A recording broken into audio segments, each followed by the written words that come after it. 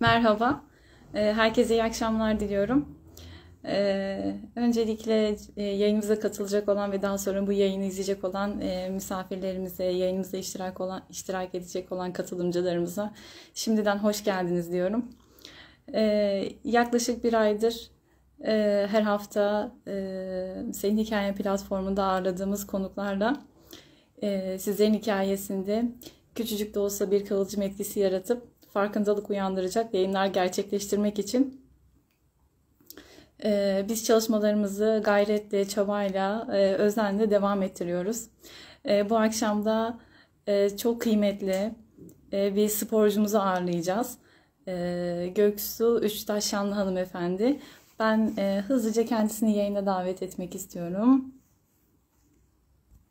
Müsaadenizle.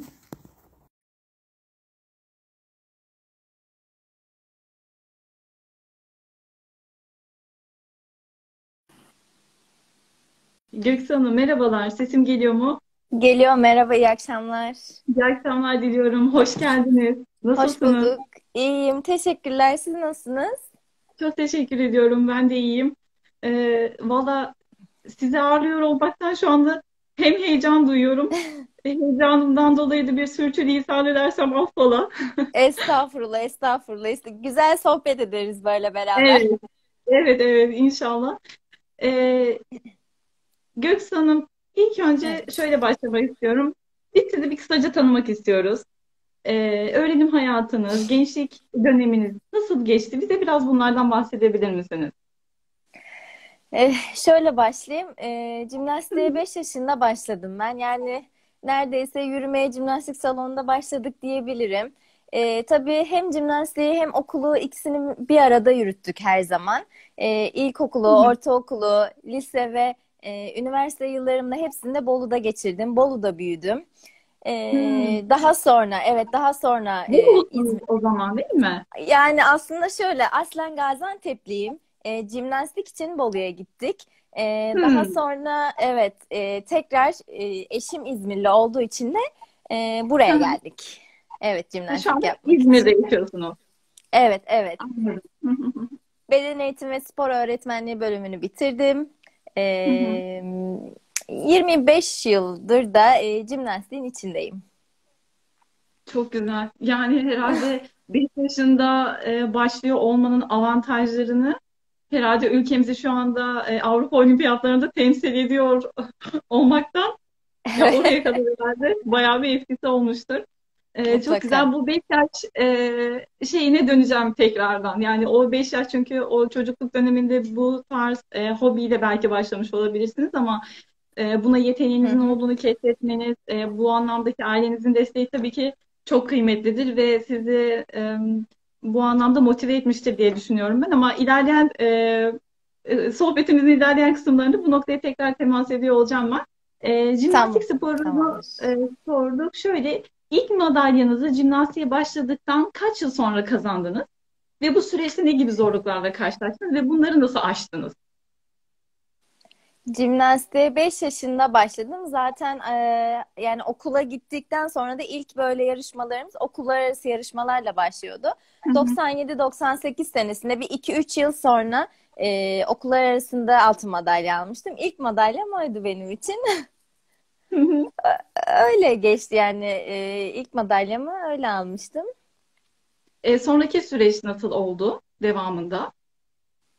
Ya bu İlkokulda. E, bunun için mesela hani okuldan okul haricinde e, ekstra bir eğitimi, o, orayı nasıl tamamladınız? e, Devam şöyle ettirdiniz daha doğrusu. Ben e, kamp eğitim merkezinde büyüdüm. E, eğitim merkezinde kaldım. Yatılı olarak e, yetiştim yani öyle söyleyeyim Bolu'da.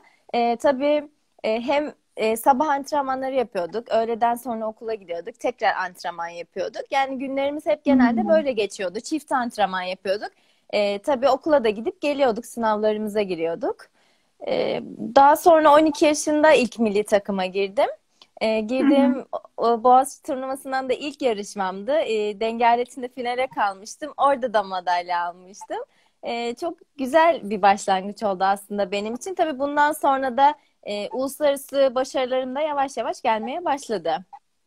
E, peki bu 12 yaşında almış olduğunuz madalya, sizin hayallerinizle e, hayalleriniz noktasında hani sizi böyle bir hedefe he- hedef koydunuz mu kafanızda? Yani bir hayal kurmaya başlamayın, başladınız mı? Zaten jimnastiğe başlarken hep hedefim vardı benim. Hani Hmm, e, hedeflerimizi şöyle hep küçük küçük e, başlayıp büyüt, evet. büyütüyordum zaten hedeflerimi. Hep kendime bir hı, hedef yarışma koyup e, ulaşabileceğim e, bir hedef koyup e, o hedef doğrultusunda çalıştım. E, hı. yani küçükten büyüğe doğru hedeflerimi büyüterek de zaten e, en sonunda da olimpiyatlara katılma şansı yakaladım. Çok güzel. Ee, şöyle e, şimdi günümüzde aslında bu hedef konusuyla ilgili işte çok çok büyük hedefler koyup onlara ulaşamayıp da e, bunlardan yapmaktan vazgeçen, işte motivasyonu düşen, e, pes eden birçok insan var diyeyim. Evet. Yani bunları çevremizde de çok görüyoruz. O anlamda böyle küçük küçük hedefler koyup onları başarıyor olmak ve onların heyecanını duyup, e, hissedip hatta içselleştirip böyle olgunlaştırıp içimizde yola devam ediyor olmak e, demek ki sizi sizde gördüğümüz gibi e, çok daha güzel başarıları beraberinde getiriyor. E, bu bu çok kıymetli. Yani e, demek ki küçük hedefler koyup onlara ulaşıp ve üzerine tekrar Evet. e, katarak devam Evet. etmek gerekiyor. Kesinlikle, kesinlikle. Yani e, ulaşılabilir hedefler koymamız Evet. gerekiyor Hı bence. E, öncelikle gerçekçi olmamız gerekiyor bu hedefleri koyarken. Bu çok önemli. Evet. Evet, hepimiz böyle çok iyi yerlere gelmek istiyoruz, çok iyi şeyler yapmak istiyoruz ama yani e, adım adım ilerleyebilmek çok daha önemli bence. E, kesinlikle Göksu Hanım. Çok doğru. E, şey e, ben şeyi çok merak ediyorum. Ailenizde sporcu var mı? Yani siz yoksa? Yani Çünkü e, hani başlamıştınız ya. Ondan dolayı hani böyle sizin dikkatinizi çeken veya yakın çevrenizde biri mi vardı diye Yani e, babam babam aslında şey futbol oynamış gençliğinde. E, hı. annem de böyle esnekmiş. E, Hı. böyle hani evet esnekmiş o da biraz herhalde. Yani bizim e, ailede böyle spor yapan yok. Ablam da hani sporla uğraşıyor benim.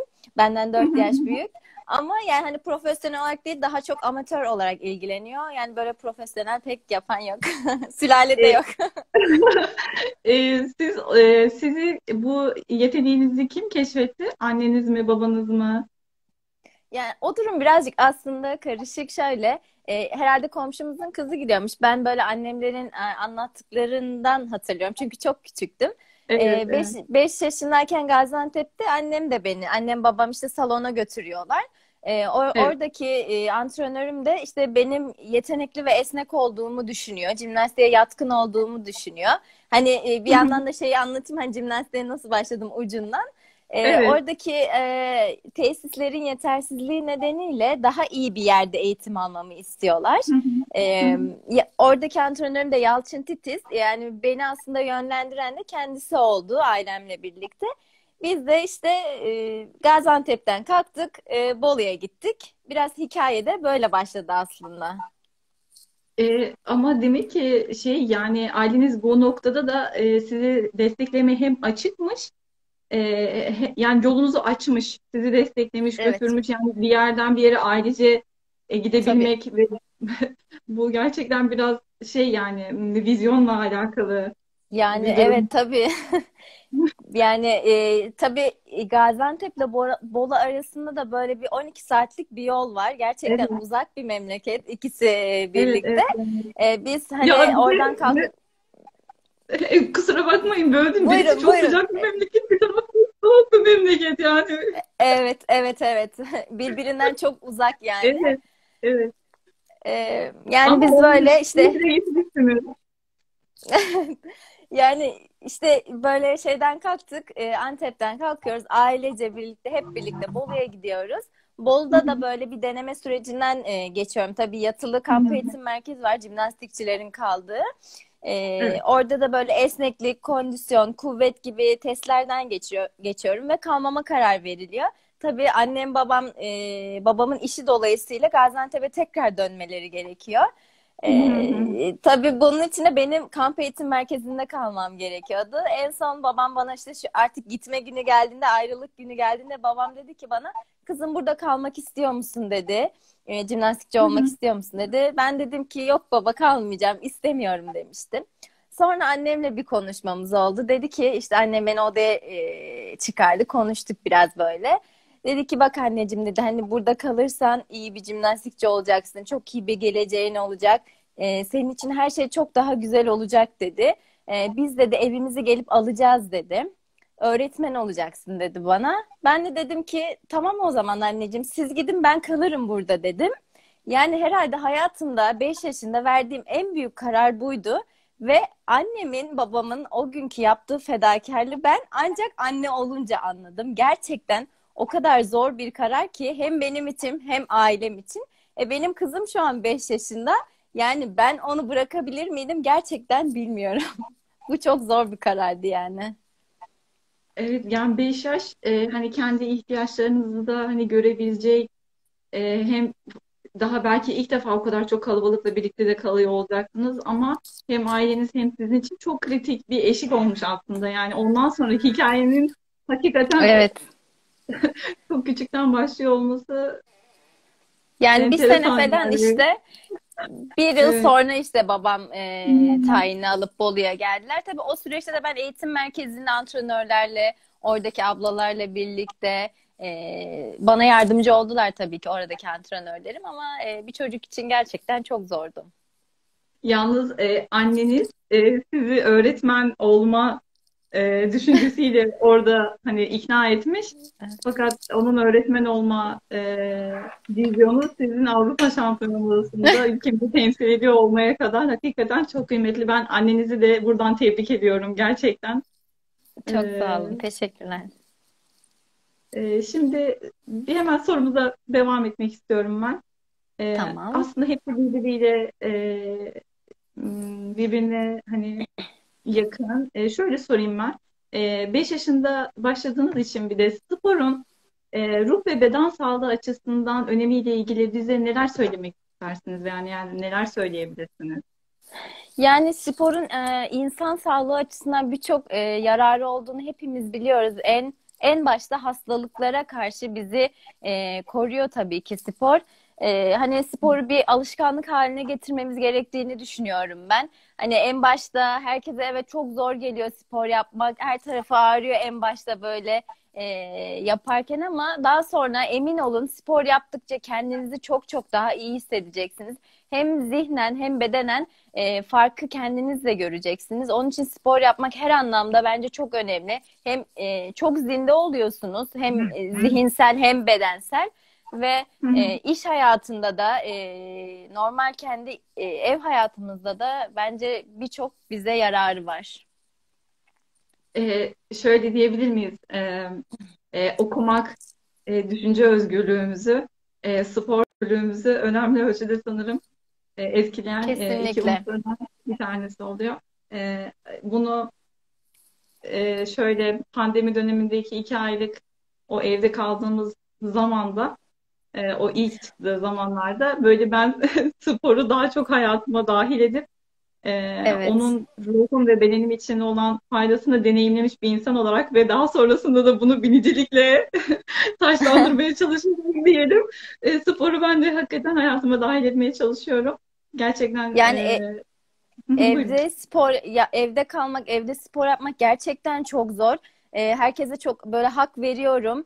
Ee, birisinin illa sizi zorlaması gerekiyor ki böyle şey e, rutine bindirebilirsiniz işi ama böyle hani dışarıya çıkıp e, işte yürümek, koşmak, yüzmek gibi böyle en azından e, günlük e, rutinimizi böyle oluşturabilirsek bize çok çok yararı olacaktır.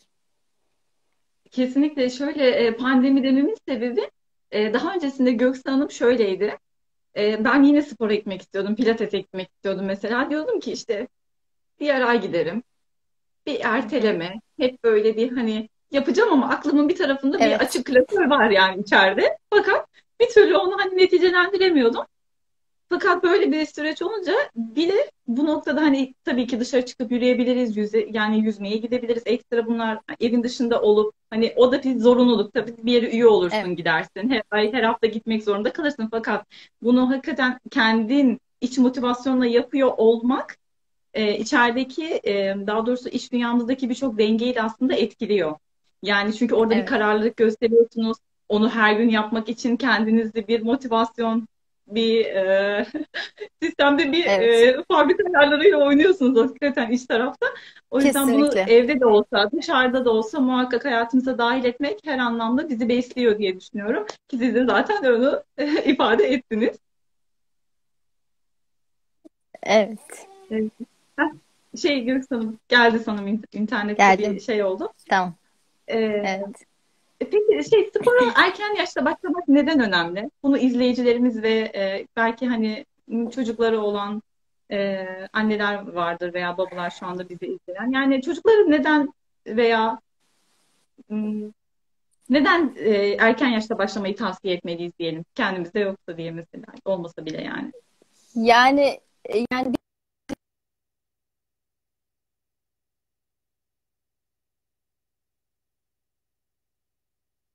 yani E, Göksan'ım internette sanırım sıkıntı mı var? Gelmiyor evet e, sizde bir şey oldu. Bir duraksama oldu ama Şu an iyi mi? e, şu an görüntüde biraz sıkıntı var ama sesiniz iyi geliyor. Görüntü düzelebilir belki.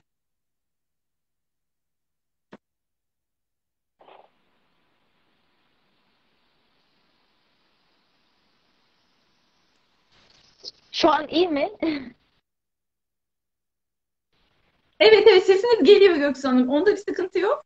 E, görüntüde Tamam. düzelebilir belki. İnternetle Tamam. alakalı. Olabilir. Biz devam Ee, edelim. ni- Sıkıntı. Sesinizi duyuyoruz. Oo, için kıymetli. Yani spor erken yaşta başlamak tabii ki çok önemli. Çünkü bir hamuru Evet. nasıl şekillendirirsin? Aynı antrenörlerimiz, öğretmen öğretmenlerimiz ve eğitimcilerimiz aynı bizi de o şekilde e, şekillendiriyorlar.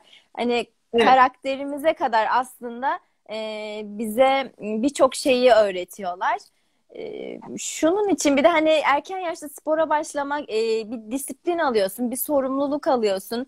E, o sorumlulukla ve disiplinle büyümeye başlıyorsun ve e, yaşam Evet. E, tarzını da bu yaptığın spora göre düzenliyorsun. Yani bununla birlikte hayatını da e, birçok bölümünü aslında sporla birlikte bir sorumluluk ve bir disiplinle büyüyorsun. Bence bu e, çok önemli. Küçük Bu, bu yaşta jimnastiği. Hı hı. Evet, sizi dinliyorum. tamamlayın. Buyurun, buyurun, buyurun. Evet. Ben sizi dinleyeyim, sözünüzü tamamlayın. Yani bunun için çok önemli aslında bence küçük yaşta başlamak. Bu disiplini almak gerçekten e, ufak yaşta daha önemli olduğunu düşünüyorum. Yani bunu da tüm hayatımız boyunca bunu taşıyoruz zaten. Evet. Hı bu yani e, işte gençlik hayatınızda da yetişkinlik döneminizde de annelikte de muhakkak orada edinmiş olduğunuz daha doğrusu o süreçten başlayıp devamında edinmiş olduğunuz tecrübeleri muhakkak karşınıza mu- çıkıyordur. Ee, yani her hayatın içerisindeki almış olduğumuz tüm rollerde bunun yansımasını siz de mutlaka e, deneyimliyorsunuzdur hayatınızda. Ee, Tabii ben tabii. şey sormak istiyorum size. Ee, kızınızın doğumundan sonra jimnastiğe bir ara veriyorsunuz. E, ve daha sonra e, dönerken e, dönmenin e, çılgınca olduğunu ifade etmişsiniz. Bu çılgınlığın a- e, anneliğinizde ve yaşamınızda ne gibi kazanımları oldu? Yani gerçekten bence çılgıncaydı. Çünkü hani birisi bana sorsa şey işte 30 yaşındasın, e, hala spor yapacaksın, çocuğun olacak, evleneceksin. Yani bana deselerdi bunu çok önceden ben bile buna inanmazdım. E, ama şu an buradayım ve çok mutluyum gerçekten. Şöyle oldu. E, Lina doğduktan sonra e, zaten ben sürekli böyle e, olimpiyat mayoma bakıyordum. İçimde hep bir ukde kalmıştı. Çünkü olimpiyat oyunlarına gitmeden e, 30 gün önce sakatlık geçirdim dirseğimden. Ve olimpiyat oyunlarına gittiğim zaman da e, işte sakatlığım tekrar nüksetti ve ben yarışamadım. Yani tek alet yarışabildim sakatlığımdan dolayı. E, elimi koymadan yarıştım. ve e, performansımı tam sergileyemedim. E, ve bunun içinde evet. böyle evet içimde hep bir ukde kalmıştı. Gerçekten e, olimpiyat mayoma bakıyordum. Diyordum ki keşke bir kere daha giyebilsem e, e, bir kere daha yarışabilsem diyordum kendi kendime. Tabii bu durumu da eşimle konuştuk. E, Lina doğduktan sonra sence nasıl yapabilir miyim? Olur mu? Sen ne diyorsun? E, gibi. O da bana destek verdi sağ olsun. E, tabii e, antrenörümle de konuştuk. O da destekçim oldu. Asıl amacımız aslında 2020 e, Tokyo Olimpiyat Oyunlarına federasyon olarak kadın e, jimnastiğinde takım olarak gidebilmekti. Benim de asıl amacım başlamaktaki buydu. Yani güzel bir süreçti çünkü benim için e, değişik bir süreçti. Bu süreçte çok evet. şey öğrendim. E, bu üç buçuk e, sene ara verdiğinde. Jimnastiğe de tekrar başladığımda biraz sancılı bir dönem geçirdim gerçekten. E, yani çünkü hani tekrar başlayacağım diye jimnastiği bırakmamıştım. Tamamen bırakmıştım jimnastiği ve üç buçuk yıl hiç antrenman yapmadım. E, yapma gereği de duymadım açıkçası. Çünkü hı hı. bilmiyorum hani döneceğimi ben bile dedim ya tahmin etmiyordum. Onun için biraz sancılı bir dönem geçti. Her şeyi tekrar tekrar öğrenmek zorunda kaldım. Tabii e, sezeryen doğum olduğum için de çok fazla ağrım vardı. Henüz beş buçuk aylıktı Lina. E, çok e, kısa bir sürede döndüm yani. E, toparlamaya da çalıştım ufak ufak. Güzel şeyler oldu sonra da. Maşallah, maşallah. Yani şey, e, yani bu arzunuzu tetikleyen de o içinizdeki ukdeydi o zaman. Yani o evet. orada kalan bir şey vardı. Bir yarım, yani yarım kalan aslında tamamlanmamış. Bunu, evet. Evet, yani şey bir yerde bir bekleyen bir hedef, bir hayal vardı. Hani bir şekilde evet, evet engel engel demeyelim. Belki daha farklı güzelliklerle karşınıza, hayatınıza dahil oldu, evlendiniz, e, çocuğunuz oldu, evet. e, kızınız oldu. E, ama insanın işte değil mi e, çocuğu, ailesi, evet onlarla birlikte e, var. Evet. Hayatımız onlarla birlikte mutlu, evet güzel ama bir yanda da gerçekten insanın kendini gerçekleştirmesi adına e, bu tarz belki çılgınca diyebileceğiniz kararlar alması gerekiyor hayatta. Değil mi? Biraz cesaret. evet, biraz hareket. Biraz cesaret. kesinlikle öyle. Yani e, kolay bir şey değil. Yani hiç uyumuyordum e, Lina doğduktan sonra. Hiç uyumayan bir çocuktu Lina ve e, bütün gece uyumayıp a, uykusuz antrenmana gittiğim günler oluyordu ve iyi bir performans sergilemek zorundasınız. E, hem beslenmenize hem uyku düzeninize her şeyinize dikkat etmelisiniz e, spor yaparken. E, bunlardan aslında biraz da feragat ettim diyebilirim. Yani e, öyle başladım ama zor bir başlangıç oldu. Çok sancılı bir dönem oldu. Ama sonu güzel oldu. İyi ki de yapmışım diyorum yani bu çılgınlığı. Harika. Çok güzel. O süreçteki destekçiniz kim oldu? Göksu Hanım. İlk baş İlk başlarken kim diyorsunuz? E, evet, evet. Hani beş buçuk aylıktı e, Lina. E, hani yani, o beş buçuk aylık o süreçte hani yani tabii ki e, eşim oldu. Çünkü hani o bana eğer e, böyle destek vermeseydi, e, evet yapabilirsin demeseydi, benim arkamda durmasaydı ben zaten bunların hiçbirini şu an yapamazdım. Çünkü hani aile olmak e, sadece benim değil onların da e, birçok şeyden fedakarlık etmek zorundalar. E, onun için en büyük evet o zaman destekçim tabii ki de eşim olmuştu. Yani çoğu kimse zaten inanmıyordu. Çoğu kişi zaten inanmıyordu. Ha, inanan inanın böyle iki kişiyle başladım bu işe ve gü- güzel oldu ama yani hani küçücük bir şeye tutunursunuz ya bazen aynen öyle oldu. Evet. Evet. Harika. Ee, bu, bu anlamda şanslıymışsınız. İkinci tebrik eşinize geliyor bu arada. evet evet gerçekten. Gerçekten e, evlendikten sonra özellikle işte e, çocuk çocuğun dünyaya gelmesi, e, işte bir düzene alışıyor olmak, onun varlığı ona ona yetebilmek, eve yetebilmek, aileye yetebilmek derken insan hakikaten e, kendini böyle biraz e, geri planda kalıyor. Suya. Yani o pozisyona çekiyor. Dolayısıyla evet, evet hani oradaki e, içer, şeyde bir sorun vardı. Hani sizi itici güç ne olmuştu diye soracaktım spora e, tekrar o başladıktan sonra. Bu anlamda sizin eşiniz olmuş. E, evet. Hani şey şey vardır. Hani gitme, hani yapma, bebek mi önemli, işte aile mi? Yani hep bir eksik kalacak sanki. Yani e, o taraflar biz bir şeyleri gerçekleştirmeye, kendimizi gerçekleştirmeye e, çalışmak yani istediğimizde. Şöyle Ama şu aslında. Hı eminim, e, çok özür diliyorum.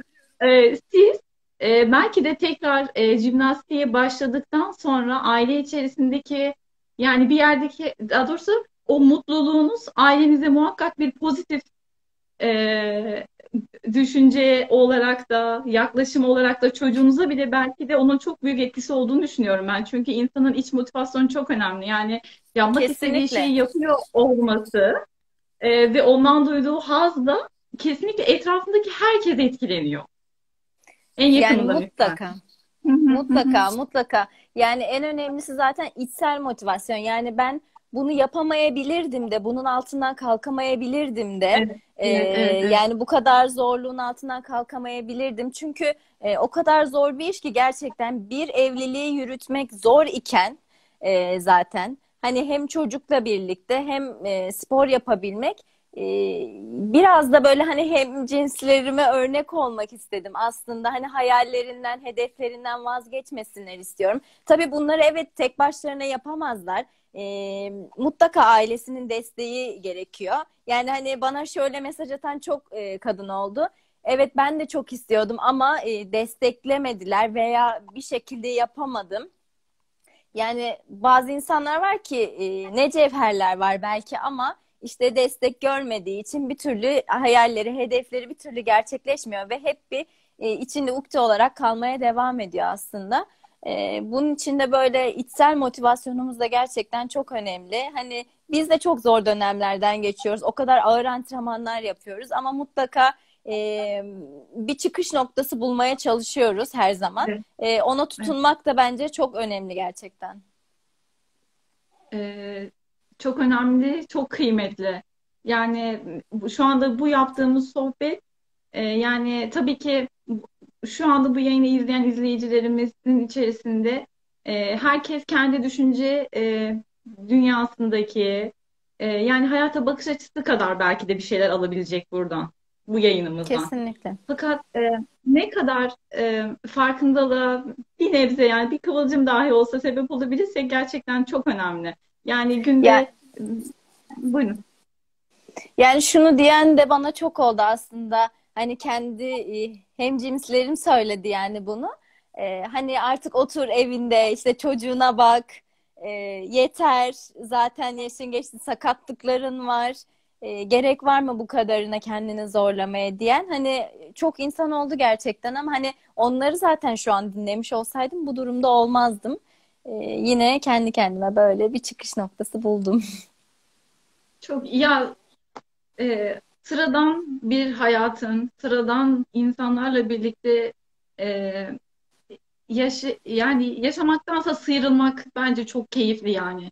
Onun tadı da, Evet. lezzeti de, duygusu da, e, insanı e, kapladığı o huzur ne kadar sakatlanın yani ha- hayatta neyi yaparken sıkıntı yaşamıyoruz ki? Veya Evet, hayatımız hepimizin hayatı güllük gülistanlık mı? Hayır. Yani her mutluluk az çok bir çaba gerektiriyor değil mi Göksu Hanım yani? Çok çok çok çaba gerektiriyor. evet yani az da olsa çok da olsa muhakkak yani mutlu olmak bir- için bile bir sebep arıyoruz değil mi? Yani şu anda durup Evet. dururken hadi mutlu olalım gülelim bilmiyoruz. Hani bir şey olsa da hani gülsek gibi oluyoruz. Mutluluk bile bir sebebe, bir çabaya e, Evet, evet. Yani e, böyle hani gerektirirken biz çok çok özür dilerim. Hani böyle Estağfurullah, bir e, sonuç aldığınız zaman aslında sevindiğiniz şey o kadar e, arka planda yaptığınız, çalıştığınız emeklerinize aslında e, seviniyorsunuz, mutlu oluyorsunuz. Yani hani Evet. O, o sizi aslında mutlu eden. O kadar emek verdim, çalıştım ve sonucunu aldım ve ben bunun için mutluyum diyorsunuz. Yani onun için gerçekten e, gayret etmek, emek vermek çok önemli. Evet. E, e, tabii e, şey istemek çok önemli tabii ki ama böyle şey e, arada da böyle bir bizim inancımıza biraz daha inanan insanları görmek de daha çok şey yapıyor. E, o, o Evet, başarıyı da etkiliyor yani bir güç oluyor onların varlığı evet. hakikaten. E, şöyle şimdi e, anne Lina ile devam etmek istiyorum birazcık. Tamam, tabii. Anne çocuğun dış dünyaya açılan kapısıdır. E, bir dalda başarılı bir anne ise çocuğu için dış dünyanın bir temsilcisidir. E, başarınızın Lina'nın gelişimine e, katkısını ve düşünce dünyasındaki farkındalığını siz şimdiden gözlemlemeye başlayabildiniz mi? Yani nasıl etkiliyor sizin sporla e, sporla olan bağınız ve bu spor dalındaki başarılarınız? Yani Lina tabii ki çok mutlu ama benden ayrıldığı zaman çok üzülüyor. Böyle e, hakikaten e, Evet. o, onun için de çok zor ben çünkü kü- artık e, Lina'yı ne emzirdiğimden beri sürekli yarışmalara gidip geliyorum ve sürekli benden ayrı kalmak zorunda kalıyor. E, ama e, beni örnek aldığını düşünüyorum. Böyle e, izlediği zaman böyle kendisi hareketler yapıyor. O da iki buçuk yaşından beri böyle jimnastiğin içinde. Jimnastiğe gidip geliyor. Temelini alıyor sporun. Ee, böyle yaptığı hareketlerinde beni izlemiş mesela. Böyle hareketlerimi taklit ediyor. Ee, böyle işte ne bileyim yaptığım e, antrenmandaki hareketleri yapıyor. Benim çok hoşuma gidiyor. Ama yani kızım böyle e, hani jimnastikçi olur veya olmaz. E, başka bir branşa yönelir. E, ben onu her anlamda zaten desteklerim. Sadece iyi, mutlu ve e, hani vatanına, milletine yararlı bir e, insan olsun istiyorum. Mutlu bir çocuk olsun istiyorum. Hani gerisi gerçekten önemli değil. E, iyi bir insan olsun yani. Hani jimnastikçi olmuş, olmamış gerçekten hiç önemli değil. Sadece iyi bir insan olsun. Ya çok güzel ya. Ya Gökhan'ım gerçekten şimdi böyle ya şöyle olayım işte şu mesleği yapayım, şunu yapayım, şurada da başarılı olayım falan. Yok ya önce iyi insan olalım yani. Yani Evet, kesinlikle. hakikaten çünkü e, iyilikle Yani başarılarımızı beslemediğimiz zaman e, başarı bizi bu sefer insanın kendisini değiştirmeye başlıyor. Yani ama iyi bir insansa zaten iyi bir insan. Kendinden emin. e, hani kesinlikle. duyguları kuvvetli, olgunlaşmış bir insan olarak başarılı olmak çok daha farklı. Yani o zaman sizi kimse sarsamıyor. Yani başarılıysanız başarıyı bile bir olgunlukla karşılamak ve temsil etmek de çok Evet. kıymetli. Evet yani başarılı olmuş olmak, yani okumuş olmak, ne olursan ol yani en başında iyi bir insan olmak gerekiyor. Evet, Yani evet. iyi bir insan olmadığın sürece, e, ahlaklı, disiplinli, sorumlu bir insan olmadığın sürece benim için yani istersen olimpiyat şampiyonu ol, gerçekten hiç önemi yok. Yani en başta kaliteli, düzgün bir birey olmamız gerekiyor bence. E, süper. Maşallah yani harika. Şey, e, Lina'da 5 yaşındaki Göksu'yu görüyor musunuz? Yok, hayır. Görmüyor musunuz? Görmüyorum. Çünkü yani aslında o da çok olgun bir çocuk. Ee, böyle e, çok duygusal kendi içinde e, yaşayan yaşıyor çoğu şeyi. Ama yani hani onu böyle sanki bir yere bıraksam e, bana yapamazmış gibi geliyor. O durumda da kalmak istemiyorum. Ee, bilmiyorum. Hani ben yani ben kendimi e, o yaşta o ona oranla daha güçlü buluyorum. Ne yalan E, söyleyeyim. Böyle hani orada 5 yaşındaki şeye e, o 5 yaşındaki o durumdan bahsettiniz ya şimdi. Onun bu, hani oralarda böyle eksik kalmış bir şeyler var mı şimdi mesela hayatınızda fark ettiğiniz? Yani 5 yaşında orada kalmasaydım hani Yani şöyle olmazdı veya duygularınızla ilgili böyle yalnız kalmış hissettiniz mi orada? Yoksa hani uyumu sağlayabildiniz yani mi? Çünkü bu bir çok şey meselesi. Hani e, fıtratla hani uyum sağlayabildiyseniz mesela orada çok bir yalnızlık da hissetmemiş olabilirsiniz. Yani e, evet e, bir şekilde uyum sağlamak zorundasın çünkü e, aslında ne olduğunu da çok fark edemiyorsun o yaşta. Çünkü sürekli antrenmana gidiyorsun ve antrenmanlara direkt e, ağır bir şekilde başlıyorsun. E, tabii beslenmen e, ona göre. E, kız sporcularda biraz kiloya dikkat etme e, şeyleri de Evet. vardır. E, yani çok ağladığım günler oldu. Ağladığım günler hep çoğunluktaydı. Annemi çok fazla özlüyordum. Ee, işte oradaki çalışan teyzelere soruyordum. Annem ne zaman gelecek? Kaç gün kaldı falan diye böyle çok yalnızlık çektiğim evet e, zamanlar oldu. E, şöyle söyleyeyim hani o zamanlar mesela her hafta sonu e, biz 6 gün eğitim merkezinde kalıyoruz. Sadece bir gün hafta sonu e, evlerimize gidip e, pazartesi tekrar e, kamp eğitim merkezine dönüyoruz. Ben de her hafta sonu e, başka bir ailenin yanına gidiyordum. Daha sonra böyle e, orada çalışan e, şoför Ekrem amca vardı. Onlara gidiyordum her hafta sonu. E, ve artık e, bir süre sonra onlara e, anne baba demeye başlamışım. E, öyle söyleyeyim. Ve hani onlar arıyor diyorlar ki bak böyle böyle e, bir an önce artık gelin diyorlar. Yani düşünsenize aslında hani e, unutabiliyorsun belki de anne babayı bir süre sonra görmedikten sonra. E, ve evet. hani şeyi de şeyi de düşünmüşüm söylemiştim. Onu da bana sonra söylemişlerdi. İşte siz beni yuvaya bıraktınız, gittiniz, almaya gelmeyeceksiniz diye. Böyle hani insan çocuk aklıyla tabii çok farklı şeyler düşünüyor. E, ama e, her zaman yine hani hedeflerine, hayallerine, bir şeylere yine tutunuyorsun ve ayakta kalmaya çalışıyorsun. E, iyi ki de e, eğitim merkezinde kalmışım. İyi ki annem beni bırakmış. E, yani öyle olmasaydı şu an çok daha farklı bir durumda olabilirdim.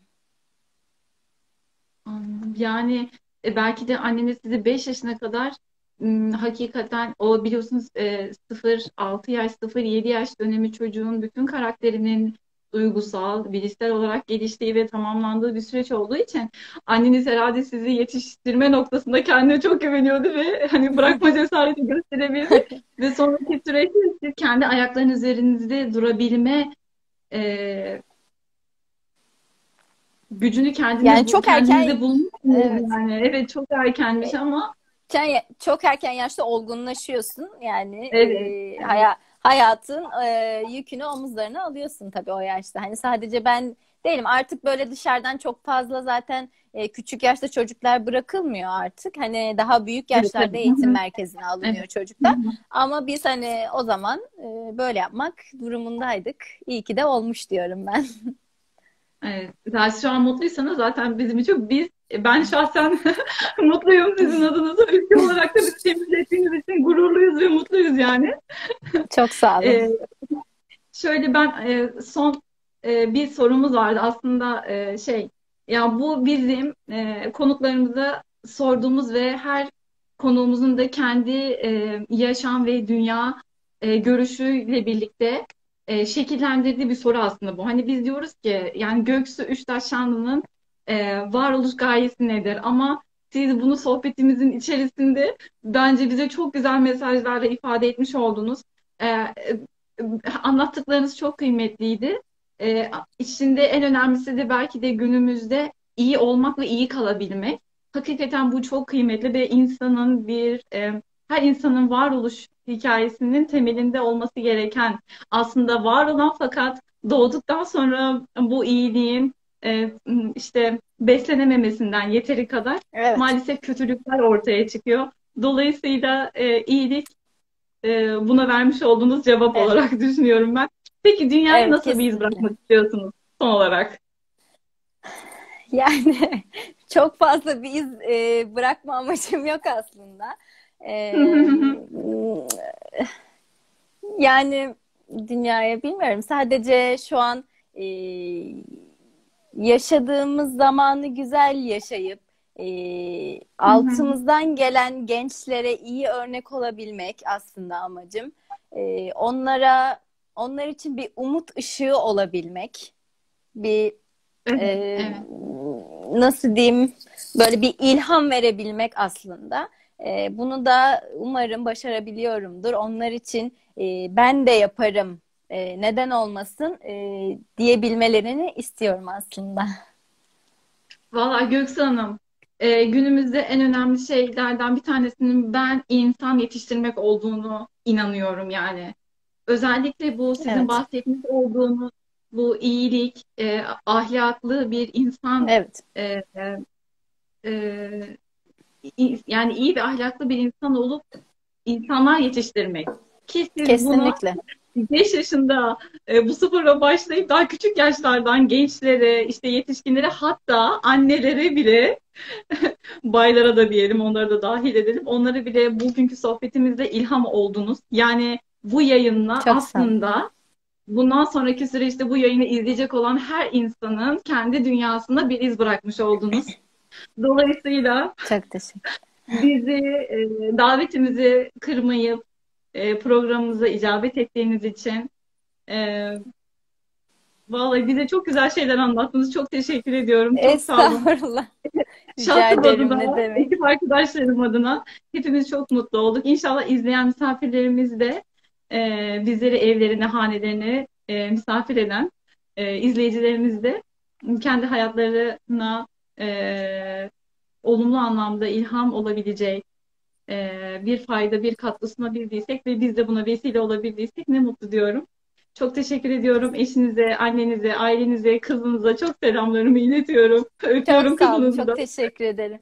Tamamdır. Çok İnşallah teşekkür bu ederim. pandemi sürecinden sonra da belki bir gün İstanbul'a gelirseniz İstanbul'da da bir araya gelmeyi ve sizinle tanışmayı çok arzu ederim. İnşallah, inşallah kısmetse olur bir gün. İnşallah, inşallah Göksu Hanım. Görüşmek üzere diyorum. Çok sağ olun. Teşekkür Hoşça kalın. ediyorum. Hoşça kalın. İyi akşamlar. ederim. İyi akşamlar.